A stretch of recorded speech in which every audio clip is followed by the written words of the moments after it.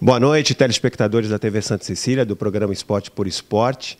Estamos aqui na, na sala da presidência do Santos, do Santos Futebol Clube, aqui na Vila Belmiro, junto com o presidente José Carlos Pérez, que gentilmente nos recebeu aqui para uma entrevista. Presidente, eu quero falar sobre a maior novidade do Santos no momento, que quero começar essa entrevista falando sobre o técnico português, e aí que já, já chegou, né, deu, deu uma entrevista coletiva, né, é, encantou os jornalistas pela simpatia, é, e foi um nome surpreendente, né? Poucos esperavam, né? haviam outros nomes técnicos argentinos que estavam em, em pauta e o senhor acabou apresentando um técnico português bastante experiente lá na Europa, né? que estava tra trabalhando nos últimos dois anos como comentarista né? esportivo numa TV, numa TV de Portugal e chega para comandar o Santos. Como é que surgiu essa ideia, presidente? Olha, ele está trabalhando faz seis meses, né, como ele veio, terminou o contrato no Catar no meio do ano passado e não quis continuar e ficou na televisão do Canal 11. Né? É, primeiro que a gente fez uma busca muito grande, a gente fez um trabalho, é, eu e o William, nós sentamos, o William é o novo gerente, é, fizemos um trabalho de pesquisa de treinador. Né? Fomos para a Argentina, tinha o Gustavo Renz, tinha é, Gabriel Renz, tinha, tinha vários. Ola, estava desempregado, estava empregado, não tinha ido ainda para o Chile, tinha vários, vários técnicos disponíveis. Então nós fizemos uma lista e depois fomos para a Europa. Chegamos em Portugal, a gente fez Vitor Pereira, Gesualdo, tem vários que a gente fez uma, um trabalho. Depois nós somos para de desempenho, de verdade. Primeira vez que, que, que nós fizemos, e, e acredito que seja a primeira vez que se faça no futebol uma análise de desempenho e não sair às pressas para contratar, como aconteceu com outros clubes brasileiros recentemente, trazendo outros técnicos. A gente já havia começado uma, de trazer técnico top. Até então traziam os técnicos que não eram top. Né? Então a gente começou trazendo um da seleção argentina, que era o Sampaoli, surpreendeu, foi muito bem, vice-campeão brasileiro, não quis ficar, pediu demissão, é, pensando em ganhar muito mais dinheiro. A verdade é o que valeu para o São Paulo foi dinheiro. E, e, a vida que segue. Tentou no Palmeiras, não emplacou, tentou no Flamengo, não emplacou. Né? Porque nem todo mundo está disposto a botar tanto dinheiro no futebol como ele imagina que pudesse ser no Brasil, a não ser o Flamengo, que está com uma receita muito grande, ou o Palmeiras.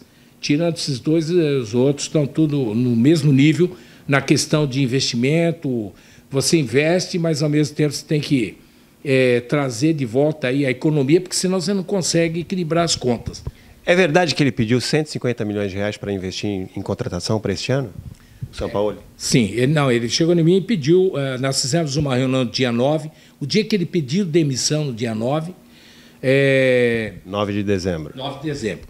Aí nós nos reunimos, eu, o William, e estava ele e um advogado, e a gente discutiu bastante né, a permanência. Até então nós achávamos que ele ia ficar. E aí ele começou a fazer, eh, com algum um comportamento que dá para perceber que eu não quero ficar, né? Aí ele quis primeiro dinheiro, depois ele falou que ele queria 100 milhões de reais, começou com 100, 100 milhões que entrega para mim, eu vou contratar quem eu quero no meu perfil, eu quero ter essa prerrogativa. Que foi o que ele pediu para o Palmeiras não deu certo.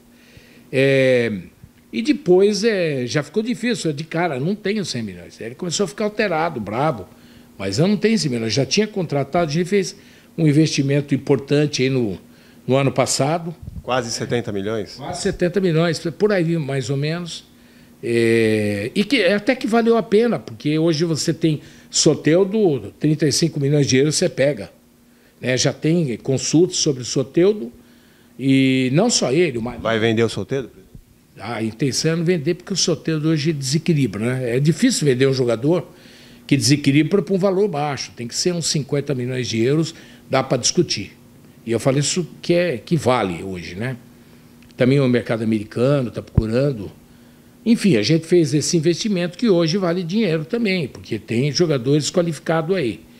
É, não deu certo com o São Paulo, ele forçou, forçou no fim, saiu alterado, bravo, xingando, mas é, vá com Deus, ele não é o dono do Santos Ninguém pode ser maior que o Santos. Ninguém, ninguém, ninguém. Só Deus. Acima do Santos é Deus.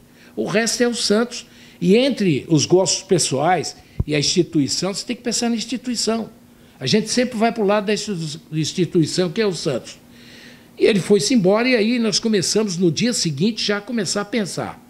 E foi quando fizemos um trabalho, é, chegamos em alguns técnicos bons, mas o que mais é, chamou atenção foi o, o Gesualdo, e com uma surpresa para a gente, depois que a gente fez o contato, que a gente contratou, nós ficamos sabendo, sabendo que no, em 2014, eu não sabia sinceramente, que em 2014 ele tinha vindo ao Brasil para ser contratado pelo Santos através do grupo do Nabil eh, Casnadar. Fizeram reunião em São Paulo. Tudo Nabil isso. Casnadar, que foi candidato, que é conselheiro do Santos, foi candidato à presidência em 2014 e 2017.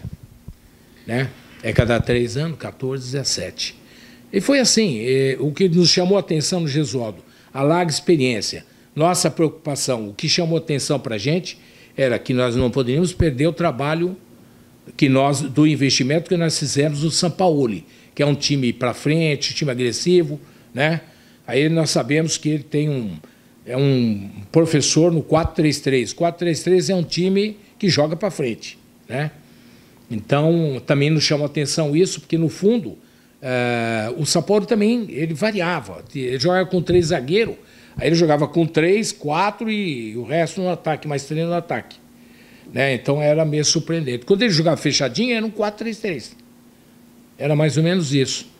E, e, foi bem. Toda vez que ele jogou nessa formação, ele, ele venceu. Quando ele jogou com três zagueiros, de 12 partidas, 10 nós perdemos, uma nós empatamos e outra nós ganhamos. Então era, era uma performance muito ruim no, no três zagueiro né, nunca interferir no treinador, a responsabilidade é dele. Na verdade, ele mantinha o 4 o 4-3-3, só que ele utilizava o terceiro zagueiro como lateral, né? É, é verdade. É, ele usava é, três zagueiros, mas ele jogava, às vezes, sem dois laterais.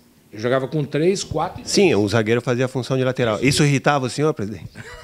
Deixava preocupado. Quando está indo para o estádio, é, eu, de jornalista sempre gosta de dar uma provocada. Ei, presidente! Me ligava, né?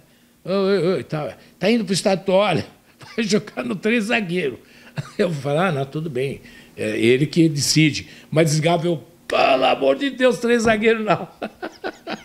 Mas é, foi, fez uma bela sequência. Poderíamos ter sido campeão se um depois daquele jogo contra o São Paulo, se tivéssemos mantido o equilíbrio, jogando com fechadinho atrás, o meio de campo e jogando no ataque, no, no, que ele é um grande treinador, ele é. São Paulo é excepcional treinador, é, fez o time jogar para frente, motivado. E, mas teve um, uma hora que a gente desequilibrou, desequilibrou, perdemos o Grêmio na Vila, quer dizer, ficou desagradável. E era três pontos importantes, então fomos perdendo, perdendo.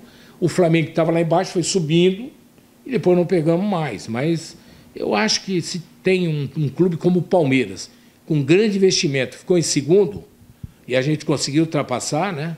A gente conseguiu pegar o segundo lugar, acho que foi uma grande campanha.